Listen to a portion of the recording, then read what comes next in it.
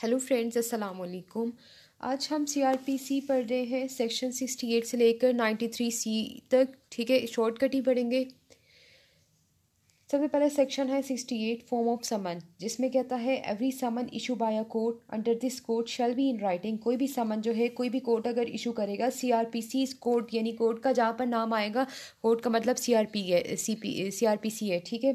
Criminal procedure code की बात करता है कि जो भी समन होगा वो इन राइटिंग होगा जो भी समन होगा इन राइटिंग होगा और वो दूसरी क्या इसमें बात करती है कि डुप्लिकेट होगा यानी कि दो दो कॉपीज़ होंगी दो राक्स पर मुश्तमिल होगा। और वो क्या होगा? साइन साइन होगा उसके ऊपर साइन इन सील साइन भी होगा और सील भी हो सील यानी कि मोहर जो होती है मोहर भी उस पर लगाई जाएगी। जो प्रिसाइडिंग ऑफिसर है कोर्ट का उसकी या जो आ, कोई भी ऑफिसर है उस कोर्ट का या हाई कोर्ट का ठीक है? जो कि time to time court court direct करती है कि कौन के जज जो उसके ऊपर साइन करेगा, उस समन के ऊपर, यानी कि उस, और जज अपनी सील भी उसके ऊपर लगाएगा, अपनी मोहर भी लगाएगा, ठीक है? फिर नेक्स्ट जो इसका पार्ट है, उसमें कहता है समन बाय वोम सर्व यानी कि समन कौन सर्व करेगा? समन जो है पुलिस ऑफिसर भी सर्व कर सकती है। पुलिस ऑफिसर पीओ भी यानी पुलिस ऑफिसर भी सर्व कर सकती है, या कोई और जो प्रोविजनल गवर्नमेंट ने कोई ऑफिसर अपॉइंट किया है, यानी कि प्रोविजनल गवर्नमेंट की बात कर रहा है पीजी की बात कर रहा है कि प्रोविजनल गवर्नमेंट ने अगर कोई और ऑफिसर अपॉइंट किया है तो वो ऑफिसर भी समन सेंड कर सकती है, या कोई कोर्ट का कोई ऑफ़िस या जो पब्लिक सर्वेंट है, यानी कि ऑफिसर जो कोर्ट के अंदर ही ऑफिसर होता है, ठीक है, जिसको बेलिफ कहते हैं, और फिर या जो है दूसरी, तीसरी बात इसमें क्या करती है, और अदर पब्लिक सर्वेंट या कोई पब्लिक पब्लिक सर्वेंट भी मुंतखब किया जाता है कि वो स, कि वो स, कि, समन समन सर्व कर दे ठीक है? समन भेजे। फिर इसका जो प्रोविजो है प्रोविजो में कहता है अगर कोर्ट को कंप्लेनेंट या एक्यूज एक्यूज जो मुलजिम है कि वो अगर रिक्वेस्ट करे कि हम स, अपनी विटनेसेस को खुद ही यहाँ पे विटनेसेस की बात कर रहा है कि अगर हम अपने विटनेसेस को खुद ही समन पे सेंड करना चाहते हैं तो कोर्ट उनको इजाज़त दे सकता है कि हाँ ठीक है आप लोग समन सेंड कर ले ठीक है? फिर सेक्शन सिक्सटी नाइन पर आ जाते हैं जिसमें कहता है समन हाउस सर्व समन को किस तरह सर्व किया जाएगा?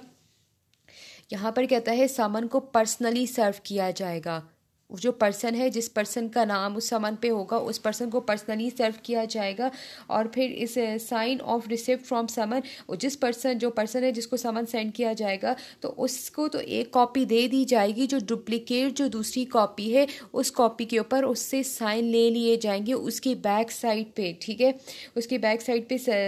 क्योंकि वो as a proof of evidence होगा कि इस पर्सन को समन सेंड कर दिया गया। फिर नेक्स्ट इसका जो थर्ड पॉइंट है, इसमें कहता है, अगर कोई समन सर्व करना है किसी इनकॉर्पोरेटेड कंपनी को या जो है अदर बॉडीज़ ऑफ़ कॉरपोरेट तो उसके सेक्रेटरी को, यानी कोई कंपनी है, ठीक है कंपनी के आगे से फर्दर जो है ऑफ़िस वगैरह है। तो अगर आपने सामान जो सर्व करना है, अगर उस कंपनी को सेंड करना है तो उसके सेक्रेटरी को सेंड करोगे, या लोकल मैनेजर जो है, या प्रिंसिपल ऑफिसर जो है उस कॉरपोरेशन का, उस कंपनी का तो उनको सेंड करोगे। किसके ज़रिए सेंड करोगे? पोस्ट के ज़रिए। यानी कि इसका जो थर्ड पॉइंट है, उसमें क्या कहती है? पोस्टल पोस्ट के ज़रिए सेंड करोगे, उसको समन, ठीक है? फिर नेक्स्ट सेक्शन सेवेंटी आ जाता है, जिसमें कहता है पर्सन नॉट फाउंड जहाँ पर service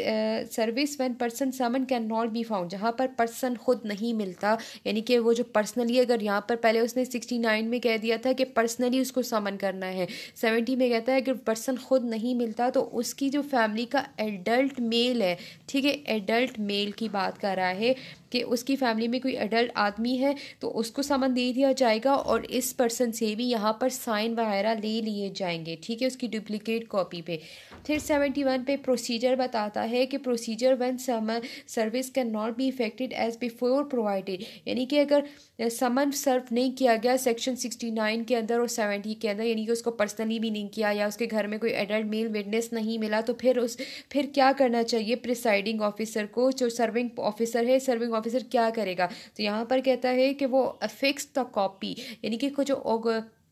एक जो कॉपी है डुप्लीकेट कॉपी होती है ना तो उस डुप्लीकेट में से एक जो है कॉपी क्या करेगा? उसके जो घर में जो जगह है कॉन्स्पिशियस पार्ट जहाँ पर वो रहता है, उस जगह पर उसको चिस्पा कर देगा, यानी कि उसको लगा देगा उसके जहाँ पर वो रहता है, उसको बिलीव हो या वर्क फॉर गेन कर रहा है, काम वगैरह कर रहा है तो वहाँ पर लगा देगा, ठीक है? प्रो सेवेंटी वन में ये बात कह रहा है। फिर सेवेंटी टू में जाता है सेवेंटी टू में कहता है कि service on servant of state और स्टेट्यूटरी बॉडी और अ कंपनी जहाँ जहाँ पर कोई पर्सन है जो कि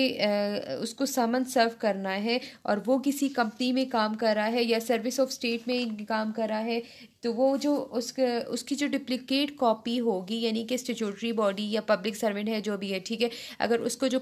जो समन कैसे सेंड करेंगे, यहाँ पर उसके जो हेड ऑफ़ द ऑफ़िस है हेड ऑफ़ द ऑफ़िस है, उसको, जहाँ पर वो एम्प्लॉय है, जहाँ पर वो काम कर रहा है, उसको समन सेंड कर दिया जाएगा और उसी तरह से ही समन सर्व किया जाएगा, जो कि सेक्शन सिक्सटी नाइन के अंदर बताया गया है। और वो जो है, फिर वो जो ऑफिसर है, ठीक है, जिसको हेड हेड है उस ऑफ़िस का तो वो उस, जिसको सेंड किया गया हो, वो उसी कॉपी के ऊपर उसकी बैक साइड पे साइन लेकर दोबारा सेंड कर देगा, यानी कि इंडोज करके दोबारा बेच देगा उस प्रिज उस सर्विंग ऑफिसर के पास, और वो जो सिग्नेचर होंगे, उससे साइन जो लिया होगा, वो signature as a proof of evidence of due service है। यानी कि वो एज अ एविडेंस है कि हाँ इस पर्सन को समन सर्व हो गया है, ठीक है? फिर सेक्शन सेवेंटी थ्री पे आ जाते हैं, जिसमें कहता है outside service of summon outside local limit यहाँ पर कहता है कि व्हेन आप जहाँ पर जो पर्सन है, वो आउटसाइड ऑफ़ लोकल लिमिट रहता है, यानी उस कोर्ट की जुरिस्डिक्शन के अंदर नहीं रहता तो यहाँ पर कोर्ट क्या करेगी कि जो समन की कॉपी है, उसकी डिप्लीकेट कॉपी है, उसको उस जुरिस्डिक्शन में जौन सा मजिस्ट्रेट होगा, उस मजिस्ट्रेट को वो कॉपी भेजेगा और वो जो मजिस्ट्रेट आगे से होगा, वो उसको फिर नेक्स्ट उस पर्सन को सेंड करेगा सेवेंटी फोर के अंदर। यानी यहाँ पर क्या है कि आउटसाइड ऑफ़ लोकल लिमिट वो पर्सन रहता है तो यहाँ पर जो मजिस्ट्रेट ऑफ़ फ़र्स्ट था, ठीक है तो वो क्या करेगा, वो सामन जो है उस इलाके का जो मजिस्ट्रेट होगा, उसको भेज देगा, ठीक है। फिर सेवेंटी फोर के अंदर कहते हैं कि proof of service in which case and when the serving person not present जहाँ पर when a summon issue by a court जो कोर्ट जो समन इशू करती है, जो कि outside of local limit of jurisdiction है तो उसको उस मजिस्ट्रेट को भेजेगा, वो जो मजिस्ट्रेट है, वो फर्दर आगे से उस समन को भेज देगा और साथ में हेल्प हेल्प पे रिपोर्ट बनाएगा, जिसमें वो ये उस जिसमें वो हेल्प पर रिपोर्ट जब वो ये जो दूसरा जो मजिस्ट्रेट है जो आगे सेंड करेगा, वो वो ओथ पर यानी कि एफिडेविट या एफिडेविट सॉरी ओथ नहीं है एफिडेविट का वर्ड यूज़ किया है कि कि एफिडेविट के ऊपर जो है वो क्या करेगा, वो वो रिकॉर्ड बनाएगा कि हाँ उसने उसी तरह ही वो सर समन इस पर्सन को सर्व कर दिया है जिसके नाम पे वो समन सेंड करना था, ठीक है? शॉर्टकट देख लेते हैं कि सिक्सटी एट में क्या कहता है फॉर्म ऑफ़ समन यानी कि आपने समन सेंड करना है तो वो इन राइटिंग होगा डुप्लीकेट कॉपी होगी साइन और सील होगी उसके ऊपर प्रिसाइडिंग ऑफिसर का, ठीक है? और उसको प्रिसाइडिंग पुलिस ऑफिसर भी सेंड कर सकता है। ऑफिसर ऑफिसर ऑफिसर जो है पब्लिक जो हर कोर्ट में ऑफिसर होता है, वो भी सेंड कर सकता है, या पब्लिक सर्वेंट के ज़िम्मे भी ये काम लगा सकता है, ठीक है? जो प्रोविजनल गवर्नमेंट ये चीज़ें बताएँगी कि कौन सर्व करेगा। फिर यहाँ पर इसके प्रोविज़न में ये बात की है कि अगर कंप्लेनेंट और अक्यूज़ कहे कि हम अपने बेटिस को खुद समन सेंड करना चाहें तो कोर्ट से इजाज़त ले सकता है। सिक्सटी नाइन में कहता है समन हाउस सर्व यानी पर्सन को पर्सनली समन सर्व करना है और उस समन के ऊपर साइन होंगे। ठीक है, उस पर जिस पर्सन को पर्सनली सेंड किया है, उसकी बैक साइड पे उससे साइन होंगी। और फिर थर्ड इसका जो पॉइंट है, उसमें कहता है कि जहाँ पर अगर वो कंपनी में काम कर रहा है तो उस कंपनी कॉरपोरेशन वगैरह जो भी है, उसके, उसमें समन सेंड कर दिया जाएगा। और फिर वहाँ वो, उसको अगर सेंड किया जाए तो वो भी उसकी कॉपी जो होगी डुप्लीकेट उस पर साइन करके वापस सेंड करेगा। और पोस्ट के ज़रिए उस कंपनी को भेजा जाएगा। सेवेंटी के अंदर कहता है कि पर्सन नॉट फाउंड जो पर्सन जिसको पर्सनली सेवन सेंड करना था, वो प्रेजेंट ही नहीं है तो उसके फैमिली का कोई एडल्ट मेल मेंबर हो, उसको समन दे दिया जाएगा और उसी तरह ही उससे साइन वगैरह ले लिए जाएँगे सेवन की बैक साइड पे। सेवेंटी वन में प्रोसीजर ये बताता है कि जहाँ पर अगर वो पर्सन खुद भी नहीं मिलता और जहाँ पर एडल्ट मेल विटनेस भी नहीं है एडल्ट मेल भी नहीं है, उसके उसके घर का तो फिर यहाँ वो जो कॉपी होगी उस समन की, उसको फिक्स यानी चस्पा कर दिया जाएगा जहाँ पर वो रहता है, ठीक है? सेवेंटी टू में ये कहता है service of state statutory body यानी कि जहाँ पर पर्सन जो काम वगैरह करवा करता है स्टेट में या स्टेचूटरी बॉडी में तो उसके हेड को जो समन सेंड कर दिया जाएगा, उसी तरह ही सिक्सटी नाइन के अंदर उससे साइन वगैरह करने के बाद ये जो स्टेचूटरी बॉडी होगी समन को वापस सेंड कर देगी कोर्ट में, ठीक है? और वो जो साइन वगैरह होंगे वो एज अ प्रूफ होंगे कि उसको समन सर्व हो हो गया है। सेवेंटी थ्री में आउटसाइड लोकल लिमिट की बात कर रहा है कि जहाँ पर जो है पर्सन है, वो आउटसाइड लोकल लिमिट रहता है तो जो मजिस्ट्रेट उस लोक उस लोकल लिमिट का होगा तो उसको वो समन दिया जाएगा, वो फर्दर जो समन होगा, वो मजिस्ट्रेट उसको फर्दर आगे समन सेंड कर देगा, उसको ऐसे ही समझा जाएगा कि उसी मजिस्ट्रेट ने सेंड किया है। सेवेंटी फोर में प्रूफ ऑफ़ समन में कहता है कि जो, कि प्रूफ ऑफ़ सर्विस यानी कि प्रूफ क्या होगा कि उस पर्सन को समन सेंड हो गया है। तो वो ये जो मजिस्ट्रेट है, जिसको समन भेजा गया था तो वो एफिडेविट पे रिपोर्ट बनाएगा और वो रिपोर्ट एफिडेविट पे होगी, जिसका मतलब यही होगा कि उस पर्सन को सेक्शन सिक्सटी नाइन और सेवेंटी के अंदर ही उस पर्सन को समन सर्व्ड हो गया है, ठीक है? नेक्स्ट टॉपिक पे आता है वारंट ऑफ़ अरेस्ट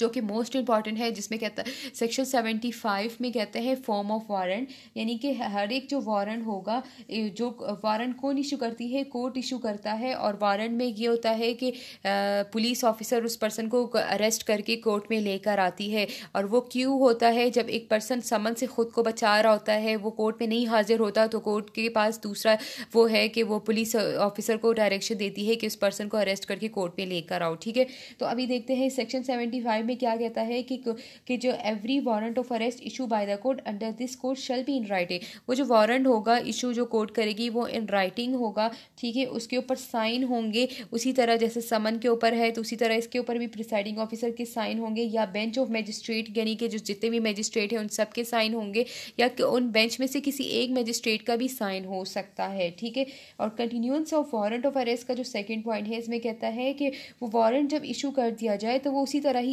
इन्फोर्स होगा, यानी कि वो लागू उसी तरह ही होगा जब तक अगर कोर्ट उस उस वारंट को खुद कैंसिल ना कर दे, ठीक है? यानी कि उस पर उसी तरह ही अमल दरामद किया जाएगा, अगर कोर्ट उस पर खुद जो है उसको खुद कैंसिल ना कर दे। इसका जो सेक्शन सेवेंटी सिक्स पे आते हैं, उसमें क्या कहता है कि कोर्ट में direct security to be taken यानी जो कोर्ट है, वो जो वारंट इशू करती है, ठीक है, किसी भी पर्सन के लिए तो वो क्या करेगी? यहाँ पर उस पर्सन को कहेगी कि आप जो है अपनी सिक्योरिटी दो, यानी कि बॉन्ड पर एग्जीक्यूटिंग बॉन्ड अपनी ज़मानत दो। जैसे ही वो अपनी ज़मानत देगा, ठीक है, जैसे ही अपनी ज़मानत देगा तो उसको रिहा कर दिया जाएगा और उसको डेट भी बताया जाएगा कि आपने इस डेट पर कोर्ट में हाजिर होना है, ठीक है? तो इसकी जो इंडोर्समेंट यानी कि एक ज़मानत कैसे दी जाएगी उस पर्सन को कि द नंबर ऑफ़ श्योरिटीज़ के कितने पर्सन जो है श्योरिटीज़ उसकी ले रहे हैं, ज़मानतदार जो पर्सन है, उनके नाम लिखे जाएँगे, ठीक है? The amount in which they and the person for whose arrest the warrant is issue are to be respectively respectively bond जिसमें कहता है, जो अमाउंट यानी कि जो जितने पैसे उससे अमाउंट लिया गया है, जो अमाउंट पैसे वगैरह उससे लिए गए हैं, वो लिख दिए जाएँगे। सिक्योर श्योरिटीज़ यानी थर्ड पर्सन है अमाउंट रकम भी हो गई जो बॉन्ड पे उस पर ले ली जाती है। और और जो नेक्स्ट थर्ड पॉइंट कहता है time at which he is to attend before the court और किस टाइम उसने कोर्ट में हाजिर होना है, वो भी लिख दिया जाएगा उस श्योरिटी बॉन्ड के ऊपर, ठीक है? यानी कि जो उससे श्योरिटी ली जाएगी। फिर सेक्शन सेवेंटी सेवन पे ज़्यादातर जो लोग ये करते हैं, ये इसलिए ही करते हैं कि वो अपने वारंट यानी कि वारंट से बचने के लिए शॉर्टी वगैरह दे देते हैं और फिर उसी डेट पर कोर्ट में हाजिर हो जाते हैं, जिस डेट पे उनको बुलाया गया होता है, ठीक है? फिर सेक्शन सेवेंटी सेवन पे आ जाते हैं। अच्छा नहीं सेवेंटी सिक्स के सेवेंटी सिक्स के थर्ड पॉइंट में कहता है, जो पर्सन है, जो उससे श्योरिटी वगैरह बॉन्ड वगैरह जो लिया गया है, जो अमाउंट वगैरह ली गई है तो वो कोर्ट में हाँ वो जमा करा देगा, ठीक है? वो जो यानी कि इंडोर्समेंट वगैरह जो उसने ली हुई है, जिसमें ये नंबर ऑफ़ श्योरिटीज़ और अमाउंट और जो टाइम वगैरह लिखा हुआ है, वो कोर्ट में जमा करा देगा, ठीक है? सेक्शन सेवेंटी सेवन में आते हैं वारंट टू वोम डायरेक्टेड कि वारंट कौन वारंट किसको डायरेक्ट किया जाएगा, कि वारंट को कौन एग्जीक्यूट कराएगा? तो कहता है वन और मोर पुलिस ऑफिसर यानी कि पुलिस ऑफिसर की बात कर रहा है कि एक या एक से ज़्यादा पुलिस ऑफिसर भी कर सकते हैं। But any code issuing search warrant में if it immediate execution is necessary जहाँ पर अगर डायरेक्ट एग्जीक्यूशन करवाना हो और पुलिस ऑफिसर अगर वहाँ पर मौजूद ना हो तो किसी भी पर्सन को कहा जा सकता है कि आप वारंट वारंट जो है वारंट ऑफ़ अरेस्ट को एग्जीक्यूट कराए। ठीक है? यानी किसी भी पर्सन को वारंट ऑफ़ अरेस्ट दिया जा सकता सकता है अगर कोई पुलिस ऑफिसर इमीजिएटली अवेलेबल ना हो और उस पर्सन को डायरेक्टली पकड़ना हो, ठीक है? तो सेवेंटी सेवन में ये बात कर दी है कि सेकेंड पॉइंट में कहता है कि warrant to several person when a warrant is directed to more officers or person than one it may be executed by all or by any one और मोर ऑफ़ दैन जहाँ पर कहता है अगर वारंट बहुत सारे पुलिस ऑफिसर्स को दिया हो या बहुत सारे लोगों को दिया हुआ हो तो उनमें से कोई ही पर्सन कोई पुलिस ऑफिसर या कोई एक जो पर्सन है, ठीक है? तो वो वारंट को एग्जीक्यूट कर सकता है। फिर सेक्शन सेवेंटी एट पर आ जाते हैं, जिसमें कहता है warrant may be directed to land holders यानी ज़मींदार के नाम पर वारंट जारी करना, जहाँ पर मजिस्ट्रेट ऑफ़ फ़र्स्ट क्लास है। मजिस्ट्रेट ऑफ़ फ़र्स्ट क्लास की यहाँ पे बात कर रहा है, ठीक है? कहता है कि किसी भी ज़मींदार को या फार्मर को या मैनेजर ऑफ़ लैंड है जो उस डिस्ट्रिक्ट में या सब डिवीज़न में रहता है और जो को, कोई पर्सन है जो कि भाग गया है ठीक है कन्विक्ट है भाग गया है या कोई प्रिक्लेम डिफेंडर है या कोई ऐसा पर्सन है जिसने नॉन कोग्निजिबल ऑफेंस किया हुआ है और उसका ताकुब करना ज़रूरी है तो यहाँ पर मजिस्ट्रेट ऑफ़ फ़र्स्ट क्लास क्या करेगा? लैंड होल्डर को भी जो फार्मर वगैरह है या ओनर है उस लैंड का उसको भी वारंट दे सकता है कि इस वारंट को एग्जीक्यूट कराओ। फिर इसका सेकेंड पॉइंट पॉइंट करता है कि गिरफ़्तार, अगर जो लैंड होल्डर वगैरह को अगर वारंट दिया गया है तो वो क्या करेंगे? उन वारंट के ऊपर साइन करेंगे। वो जो कि हाँ वो आगे जो है, वो उस वारंट को एग्जीक्यूट कराएँगे। जैसे अगर वो वारंट को एग्जीक्यूट करा दे, उस पर्सन को पकड़ लिया जाए तो उस पर्सन को क्या होगा? नियरेस्ट पुलिस स्टेशन में पुलिस ऑफिसर की पकड़ा दिया जाएगा। यानी कि वो क्या करेंगे? नियरेस्ट जो पुलिस ऑफ़ पुलिस स्टेशन है तो उसमें उस पर्सन को जमा करा देंगे। ठीक है?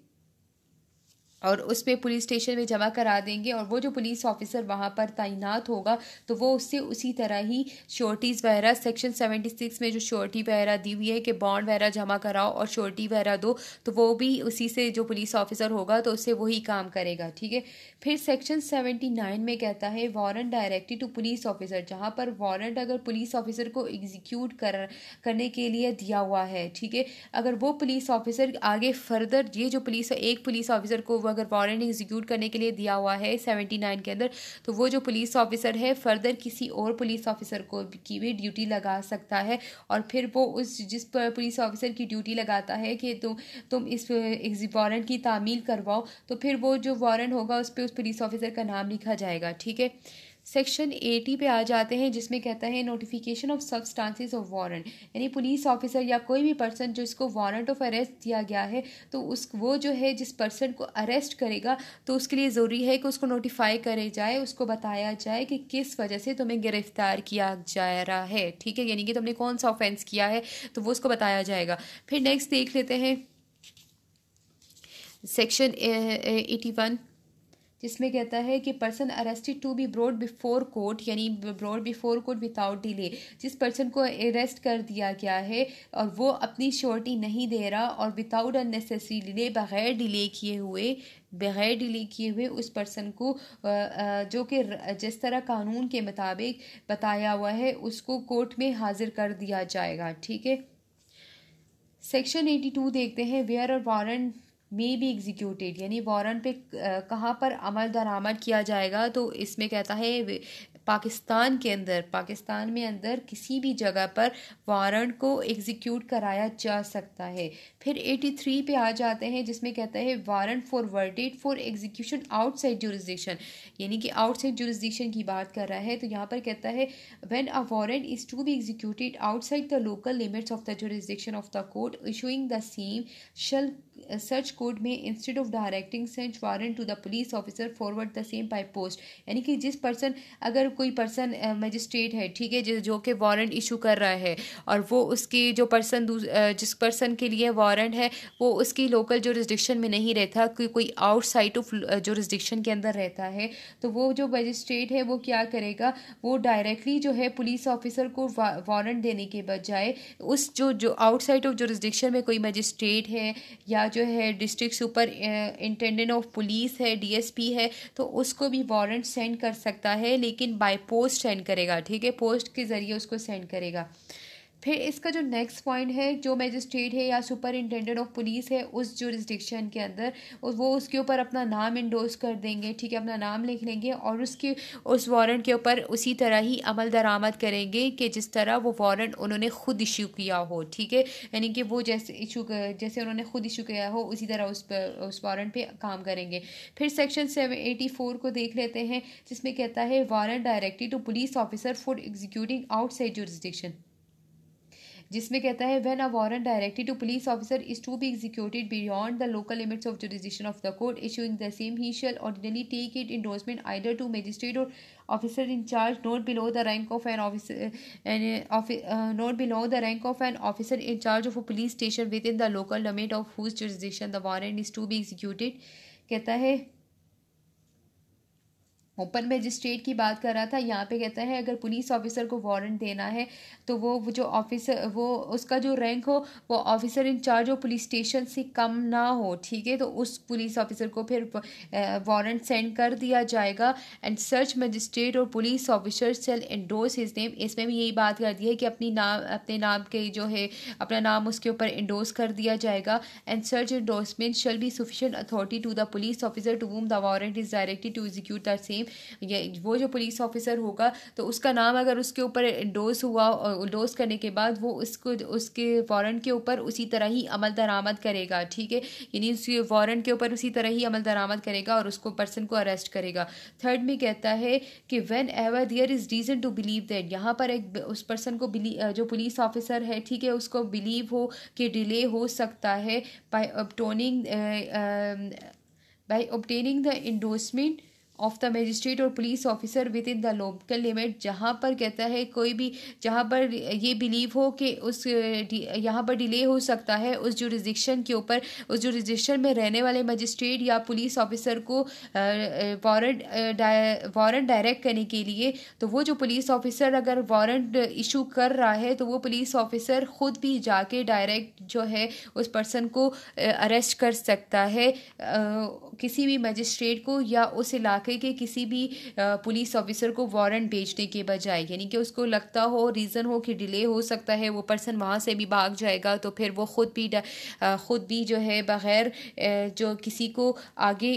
किसी का नाम इंडोज किए हुए या किसी को किसी मजिस्ट्रेट या पुलिस ऑफिसर को बताए बगैर ख़ुद भी जो है उस वारंट को एग्जीक्यूट करा सकता है उस जुरिस्डिक्शन के ऊपर, ठीक है? फिर सेक्शन एटी फाइव पे आ जाते हैं।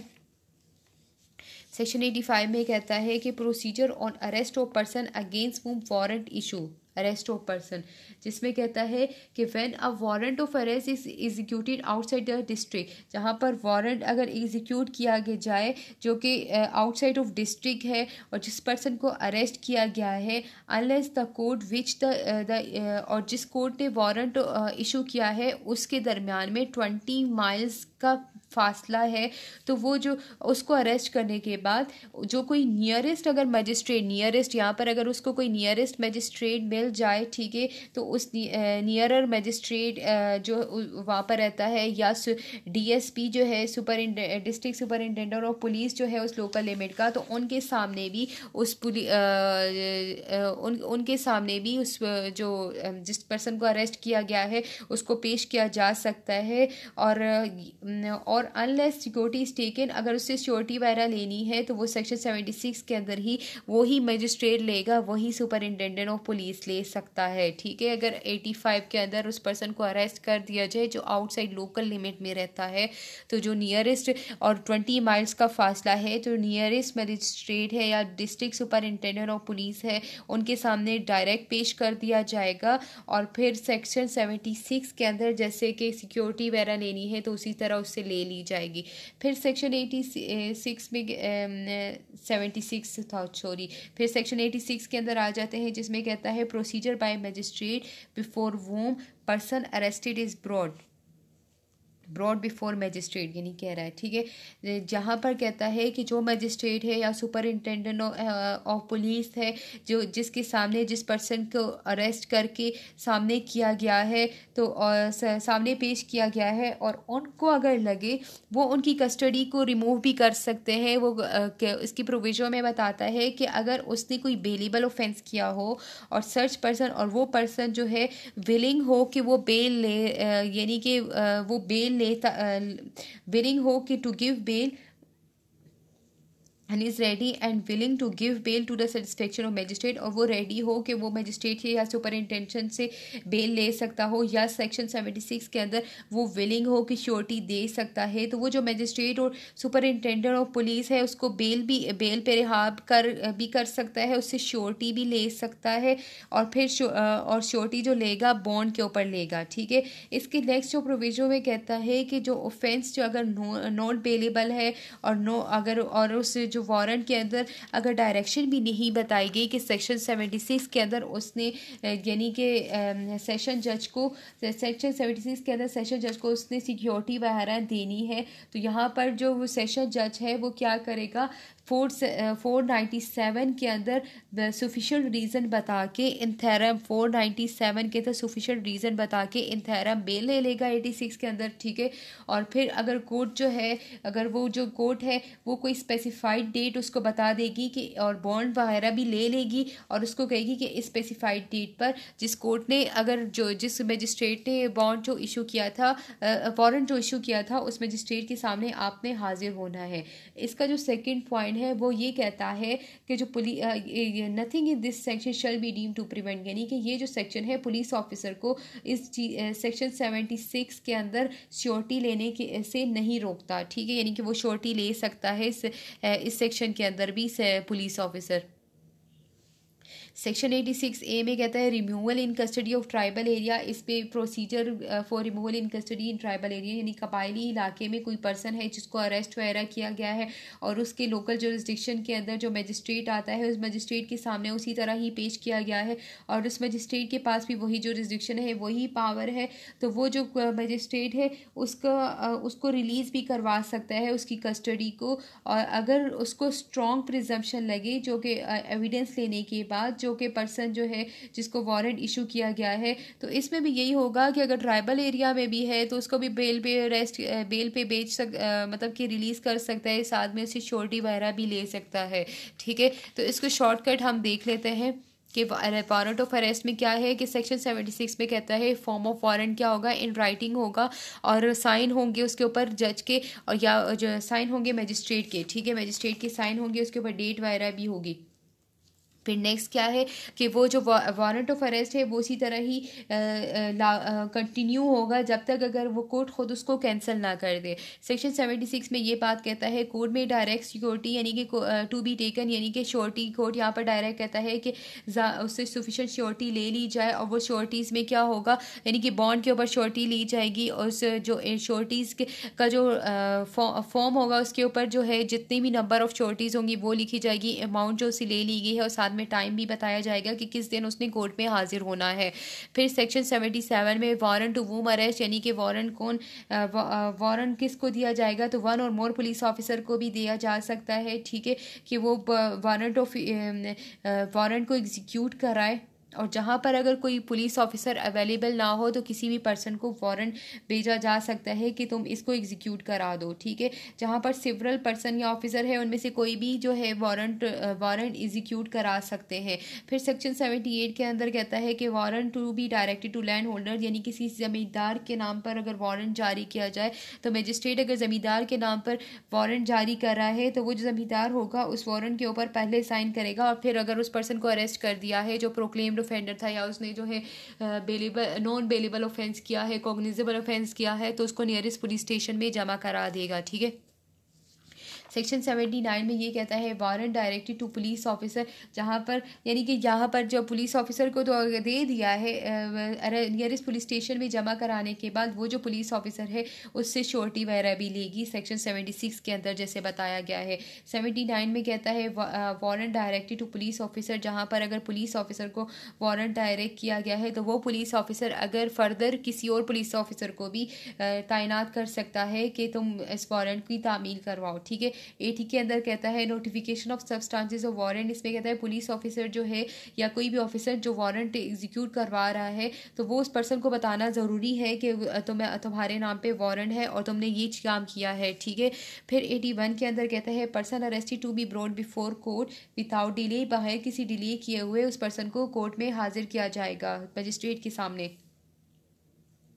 फिर नेक्स्ट कहता है नेक्स्ट कहता है एटी टू के अंदर एग्जीक्यूशन ऑफ़ वारंट यानी कि मे बी एग्जीक्यूटिव वारंट का एग्जीक्यूशन जो है विद इन पाकिस्तान किया जाएगा, ठीक है? फिर एटी थ्री को देख लेते हैं कि warrant forward for execution outside jurisdiction यानी कि उस मजिस्ट्रेट की जुरिस्डिक्शन के अंदर वो पर्सन नहीं रहता, किसी और जुरिस्डिक्शन में रहता है तो वो जो मजिस्ट्रेट होगा, दूसरे मजिस्ट्रेट को वो वारंट सेंड करेगा या डीएसपी को सेंड करेगा बाय पोस्ट और बाय पोस्ट जो है वो उसकी समन को वो जो वारंट को उसी तरह ही एग्जीक्यूट कराएँगे। और जहाँ पर अगर मजिस्ट्रेट को लगे कि विदाउट यहाँ पर डिले हो सकता है, और जब तक अगर मजिस्ट्रेट को या डीएसपी को हम वारंट भेजेंगे तो वो पुलिस ऑफिसर ख़ुद भी जो है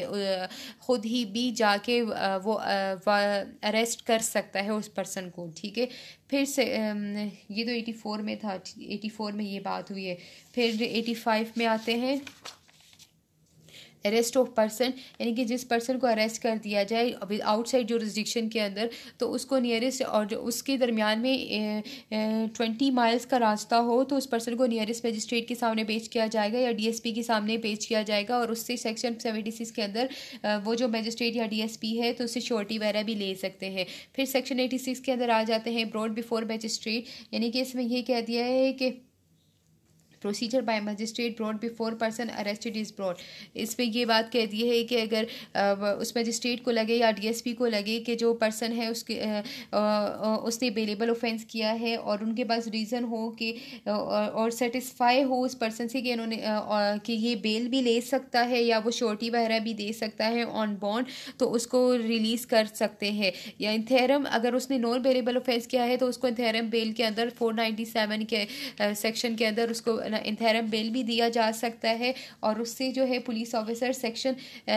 seventy six के अंदर उससे पुलिस ऑफिसर श्योरिटी वगैरह भी ले सकती है। फिर एटी सिक्स ए में कहता है कि procedure for removal in custody tribal area अगर ट्राइबल एरिया में किसी ने कबायली इलाके में किसी ने ऑफेंस किया है और वो मजिस्ट्रेट जो है उसके पास भी वही लोकल लिमिट वगैरह है और उस तो फिर वही मजिस्ट्रेट उस केस को देखेगा और उसको देखने के बाद जो उसको लगे कि इस इस पर्सन ने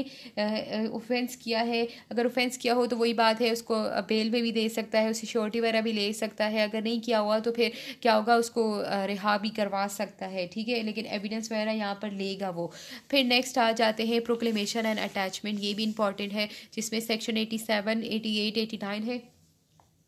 यानी कि क्या होता है सबसे पहले तो सामान भेजा जाता है वो पर्सन हाजिर ना हो तो फिर अरेस्ट भेज दिया जाता है कि उसको अरेस्ट करके लेकर आओ। और जहाँ पर वो अरेस्ट होने से भी अपने आप को छुपाता है तो यहाँ पर कोर्ट क्या करती है उसको इश्तहारी मुलजिम करार देती है और आ, मतलब कि इश्तहारी मुलजिम करार दे, देती है और फिर उसकी प्रॉपर्टी वगैरह अटैच की जाती है ठीक है? तो इसमें हम देखते हैं कि क्या एटी सेवन में कहता है प्रोक्लेमेशन फॉर पर्सन एब्सकेंडिंग जो पर्सन भाग गया है भगोड़ा है उसके लिए इश्त, उसको इश्तहारी करार देना ठीक है? तो क्या होगा कि इसमें कहता है if any court is satisfy after taking evidence जब कोर्ट एविडेंस लेने के बाद सेटिस्फाई हो जाए जो पर्सन है जिसके नाम पर वारंट इशू किया गया था वो भाग गया है या अपने आप को छुपा रहा है कि वारंट को एग्जीक्यूट कराने से तो कोर्ट क्या करेगी? एक तहरीरी ऐलान कर देगी एक रिटर्न प्रोक्लेमेशन करेगी, ठीक है? और उससे उसको इश्तहारी करा देगी और उस जो रिटर्न प्रोक्लेमेशन है, उसके ऊपर स्पेसिफाई टाइम स्पेसिफाई किया जाएगा प्लेस प्लेस और टाइम स्पेसिफाई किया जाएगा और वो जो टाइम होगा, वो थर्टी डेज़ होगा, यानी कि विद इन थर्टी डेज़ वो कोर्ट के अंदर हाजिर हो। वो proclamation shall be punished as follow यानी पब्लिश्ड एज फॉलो यानी कि इस प्रोक्लेमेशन को कहाँ पर पब्लिश किया जाएगा? It shall be publicly read यानी कि पब्लिकली रीड रीड किया जाएगा उस टाउन में उस विलेज में जहाँ पर वो पर्सन रहता हो और आ, मतलब या रहता था ठीक है? और बी में कहता है it shall be affix to some conspicuous part of the house या उसको चस्पा कर दिया जाएगा जहाँ पर वो रहता है या उस टाउन या उस विलेज में ठीक है?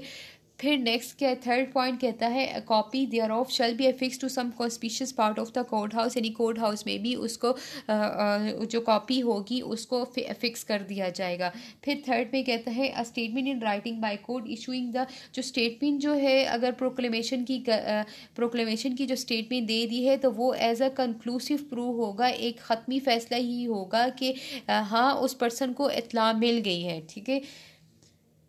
फिर 88 में देखते हैं कि attachment of property of person absconding जहाँ पर जो पर्सन है, इश्तहारी करार दे दिया गया है कि विद इन थर्टी डेज़ वो कोर्ट में हाजिर हो। विद इन थर्टी डेज़ भी वो कोर्ट में हाजिर नहीं होता। तो यहाँ पर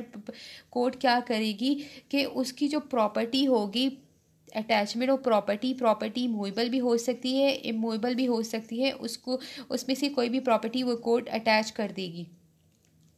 Such order shall authorize the attachment of any property belong to search person within the district लेकिन वो जो प्रॉपर्टी अटैच की जाएगी, उसी डिस्ट्रिक्ट के अंदर होगी और उसी सेशन जज के पास अख्तियार होगा कि उसकी प्रॉपर्टी को अटैच करे, ठीक है? P E R prop property को अटैच करे। ठीक है? फिर जो अगर थर्ड पॉइंट में कहता है कि mode of mode of attachment of property of immovable property अगर मूवेबल प्रॉपर्टी है सॉरी मूवेबल प्रॉपर्टी है तो अगर मूवेबल प्रॉपर्टी है तो सबसे पहले उसको सीज यानी कि सीजियर किया जाएगा, यानी कब्जा पकड़ा पकड़ा कब्ज़ा कर लिया जाएगा उसकी प्रॉपर्टी पे, जो मूवेबल प्रॉपर्टी है। फिर उस प्रॉपर्टी के, की टेक केयर के लिए रिसीवर को अपॉइंट किया जाएगा। वो रिसीवर वो पर्सन होता है जो उस प्रॉपर्टी की देखभाल करता है और कोर्ट उसको उस आ, आ, उसके लिए कोई फ़ी मंतखब करती है और वो फ़ी भी जो है उसकी जो जिस पर्सन की प्रॉपर्टी होती है उसी से ही बाद पे डिटक करके इस पर्सन को फ़ी दी जाती है क्योंकि वो उस प्रॉपर्टी की टेक केयर कर रहा होता है ठीक है? और दूसरा सी जो पार्ट है by an order in writing prohibiting the delivery of such property और कोई ऑर्डर भी कर सकता है कोर्ट और के ये जो प्रॉपर्टी होगी इसको फर्दर डिलीवर नहीं किया जाएगा, ना ही उस प्रोक्लेम्ड ऑफेंडर को डिलीवर होगी ये प्रॉपर्टी ना ही किसी और पर्सन को और दूसरा कहते हैं एनी अदर ऑर्डर ठीक है? एनी अदर ऑर्डर कोई और ऑर्डर भी जो है कोर्ट कर सकती है जो कोर्ट को ठीक लगे। फिर इसका जो फोर्थ पॉइंट है, जिसमें कहता है, अगर जो है प्रोविजनल गवर्नमेंट जो डिस्ट्रिक्ट ऑफिसर ऑफ़ रेवेन्यू है और उस उस डिस्ट्रिक्ट में जो है मतलब जो जिस, जहाँ पर उस पर्सन के ऊपर केस चल रहा है, उसी डिस्ट्रिक्ट में उस पर्सन की प्रॉपर्टी है, वो भी इमूबल है तो यहाँ पर उस प्रॉपर्टी की पोजेशन ले ली जाएगी। फिर वो जो पोजेशन लेने के बाद एक रिसीवर अपॉइंट किया जाएगा, और फिर थर्ड वही पॉइंट बता दिया है कि इन राइटिंग जो है कोर्ट प्रोहिबिट करेगी कि जिस प्रॉपर्टी को ना आप रेंट पे दे सकते हो, ना किसी और को डिलीवर कर सकते हो, ना ही डिलीवरी ना प्रोक्लेम्ड ऑफेंडर को दोगे, ना ही किसी और पर्सन को। और अगर कोर्ट को कोई लगे तो कोई और ऑर्डर जो उसको कोर्ट को लगे तो वो भी कर सकता है, ठीक है? इसका जो फिफ्थ पॉइंट है फिफ्थ पॉइंट में देखते हैं कि अगर जहाँ पर फिफ्थ पॉइंट में ये कहता है, अगर जहाँ पर वो प्रॉपर्टी है लाइफ स्टॉक है, यानी कि गाय, भैंसे वगैरह हो गई, या जो है कोई ऐसी, कोई फ्रूट्स वगैरह हो गए, ठीक है, यानी कि पेरिशेबल नेचर फ्रूट्स या खेत वगैरह हो गए जिसमें जो है फ़सल पक गई है और उसका ख़राब डिके होने का मसला है, ठीक है, यानी कि यहाँ पर डिके डिके होने का मसला है तो कोर्ट ऑर्डर कर सकती है, ये जो ऑर्डर होगा कोर्ट ऑर्डर कर सकती है सेल की, कि उस चीज़ उस चीज़ को बेच दिया जाए, ठीक है? उस चीज़ को बेच दिया जाए, यानी कि फ्रूट्स वगैरह हो गए, खेत वगैरह हो गए, वो ख़राब होने का अच्छा है तो उसको सेल होने के लिए कोर्ट जो है फैसला कर सकती है कि इसको सेल कर दिया जाए। जो बनी वगैरह होगी, ठीक है तो वो कोर्ट में जमा करा दी जाएगी। सिक्स में कहता है कि जो रिसीवर के, जो रिसीवर की ड्यूटी के बारे में बता रहा है, ठीक है? जो रिसीवर की ड्यूटी वगैरह है तो वो उसी पावर ड्यूटी और लाइबिलिटीज़ वही होंगी जो कि सीआरपीसी के CPC sorry CPC civil procedure code के ऑर्डर फोर्टी के अंदर बताए हुए हैं। ठीक है? फिर इसका जो नेक्स्ट ए पॉइंट है, कहता है कोई जो है, कोई क्लेम कर रहा है, कोई ऑब्जेक्शन कर रहा है कि ये प्रॉपर्टी उनसे बिलोंग कर दी है तो विद इन सिक्स मंथ वो कोर्ट में हाजिर होंगे। ठीक है? वो कोर्ट में हाजिर होंगे और अपना क्लेम वगैरह करेंगे उस प्रॉपर्टी से रिलेटेड सिक्स ए में ये बात की जा रही है। तो वो प्रॉपर्टी से रिलेटेड क्लेम किया जाएगा। और जहाँ, यहाँ पर फिर कोर्ट क्या करेगी? उस क्लेम और जो ऑब्जेक्शन वगैरह कर रहा है, उनकी इंक्वायरी की इंक्वायरी होगी। तो अगर कोर्ट चाहे तो इंक्वायरी कर सकती है या नहीं भी कर सकती। लेकिन वो जो प्रॉपर्टी होगी, वो कोर्ट अपने पास ही रखेगी। अच्छा इसकी प्रोविज़न में कहता है, अगर कोई क्लेम कर रहा है, कोई ऑब्जेक्शन वगैरह कर रहा है, उस प्रॉपर्टी से रिलेटेड और अगर उस दौरान वो मर गया तो फिर वो जो उसके लीगल रिप्रेजेंटेटिव होंगे तो वो भी फर्दर लीगल रिप्रेजेंटेटिव जो है, होंगे तो वो भी फर्दर उस सूट को फॉलो कर सकते हैं। सिक्स बी में कहता है कि उसी अगर क्लेम और ऑब्जेक्शन वगैरह करोगे तो वो उसी कोर्ट में जाओगे। यानी कि क्लेम और ऑब्जेक्शन अगर आप कर रहे हो, जिस मजिस्ट्रेट ने वो प्रॉपर्टी है जिस सेशन जज ने वो प्रॉपर्टी जो है अटैच करवाई है तो उसी कोर्ट में आपको जाना है। सिक्स सी के अंदर कहता है कि जो क्लेम और ऑब्जेक्शन कर रहा है तो उसकी इंक्वायरी वगैरह वही मजिस्ट्रेट करेगा, जिस मजिस्ट्रेट ने जिस मजिस्ट्रेट ने वो प्रॉपर्टी अटैच की हो, ठीक है? फिर सिक्स डी के अंदर कहता है, अगर किसी के क्लेम को डिसलॉ कर दिया तो एक साल के बाद भी वो एक दावा कर सकता है। यानी कि अगर वो मजिस्ट्रेट डिसअलाउ उसको कर दे, यानी कि उसके ऑब्जेक्शन को खारिज कर दे तो within one year one एक साल के अंदर ही विद इन वन ईयर मतलब कि वो स्यूट कर सकता है, ठीक है? सिक्स ई e के अंदर कहता है कि जहाँ पर वो जो पर्सन प्रोक्लेम्ड ऑफेंडर था, वो अपीयर हो जाए विद इन द टाइम यानी कि उस टाइम के अंदर ये अपीयर हो जाए। तो जो कोर्ट ने जो अगर उसकी प्रॉपर्टी को अटैच की गई अटैच किया है तो उस उस ऑर्डर को रिलीज़ कर सकता है, उस ऑर्डर को ख़त्म कर सकता है, ठीक है?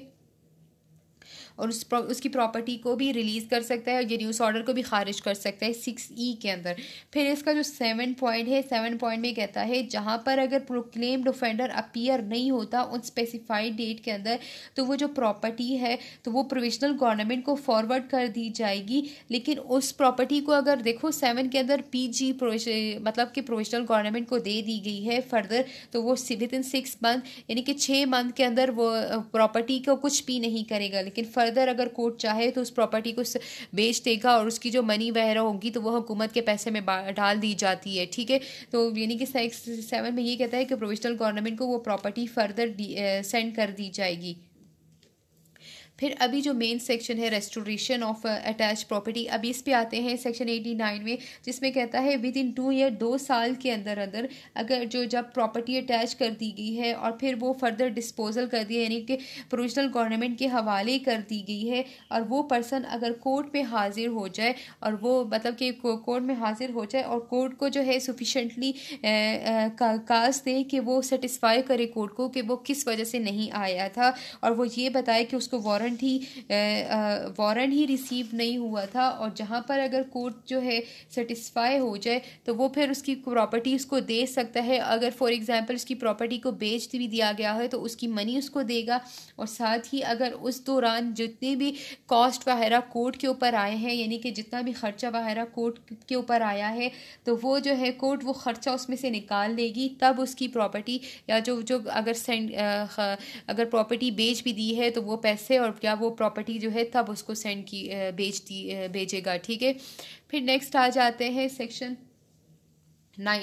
other rules regarding process यानी कि सेक्शन 19, 91, 92, 93 में है जिसमें कहता है issue of warrant in lieu of or in addition of seven यानी कि देखिए mode of mode of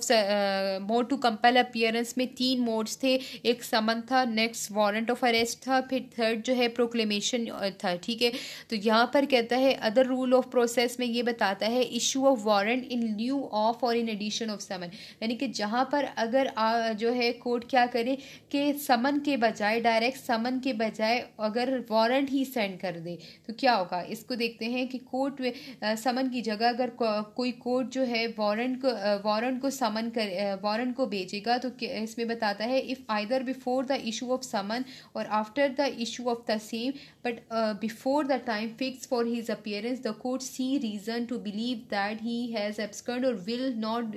obey the summon यानी कि यहाँ पर कोर्ट के पास कोर्ट क्यों के से पहले अगर वारंट भेजेगा तो वो ये होगा कि अगर कोर्ट को लगे कि ये पर्सन भाग जाएगा या ये समन ओबे नहीं करेगा, ठीक है? समन ओबे नहीं करेगा या जो है ये भाग भी सकता है तो इस केस में जो है क्या कर सकता है? यानी कि समन ओबे नहीं कर रहा और या जो है एब्सकंड भाग भी सकता है तो कोर्ट क्या करेगी? समन के बजाय डायरेक्ट जो है उस पर्सन को वारंट सेंड कर देगी, ठीक है? वारंट उसके खिलाफ नाम पे वारंट भेज दिया जाएगा। फिर नाइन्टी वन में कहता है power to take bond for appearance यानी कि फिर नाइन्टी नाइन्टी वन में कहता है, अगर उसके नाम पे अगर कोर्ट ने वारंट इशू कर दिया है, या जो है अगर समन भी इशू कर दिया है, या समन के बजाय वारंट इशू कर दिया है तो इस केस में उससे यहाँ पर बॉन्ड वगैरह ली जाएगी, उससे ज़मानत वगैरह ली जाएगी कि वो अपनी नेक्स्ट पेशी पे हाजिर होगा, ठीक है? बॉन्ड वगैरह रकम होती है ठीक है, वो उससे ले ली जाएगी विथ और विदाउट श्योरिटी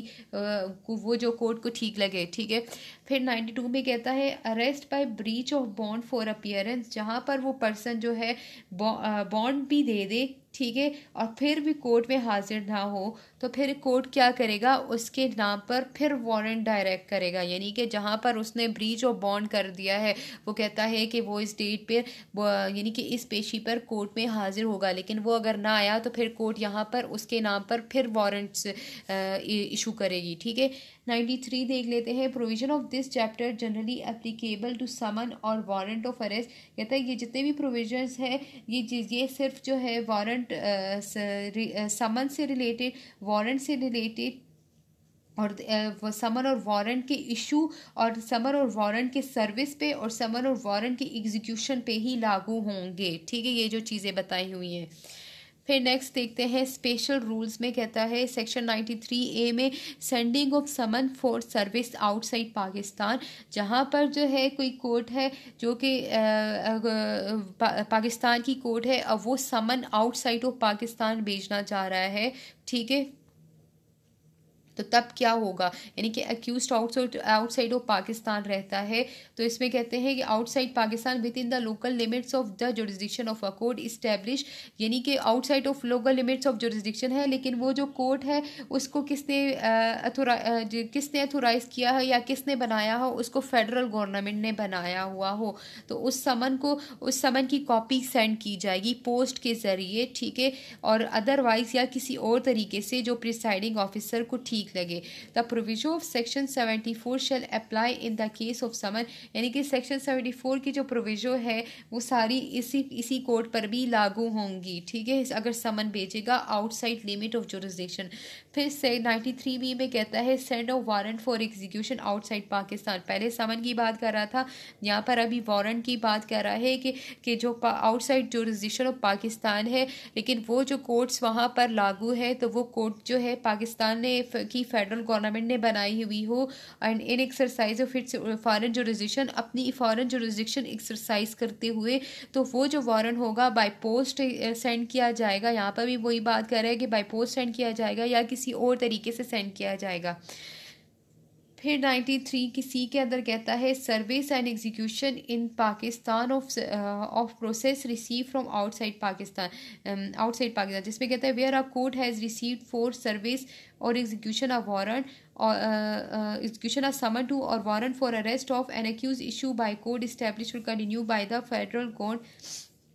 जो final same to be serve or executed यानी कि अगर किसी आउटसाइड जोरिस्डिक्शन ऑफ़ कोर्ट को अगर वारंट भेज दिया जाए, ठीक है? यानी कि दूसरी कोर्ट को भेज दिया जाए, जो कि पाकिस्तान के आउटसाइड जोरिस्डिक्शन के अंदर है, और तो फिर वो जो कोर्ट होगी, क्या करेगी? उस वारंट को और उस समन को इसी तरह ही फर्दर एग्जीक्यूट कराएगी। अगर जिस तरह मतलब अगर वो पाकिस्तान में वो कोर्ट होती तो उसी तरह ही यानी कि जैसे हम पीछे पढ़ चुके थे कि अगर किसी दूसरी आउटसाइड लोकल मजिस्ट्रेट को भेजा जाए तो वही मजिस्ट्रेट मजिस्ट्रेट उस पर उसी तरह ही काम करेगा, अगर वो उसके, वो उसका अपना वारंट होता तो यही जो कोर्ट होगी तो वो भी उसी उसी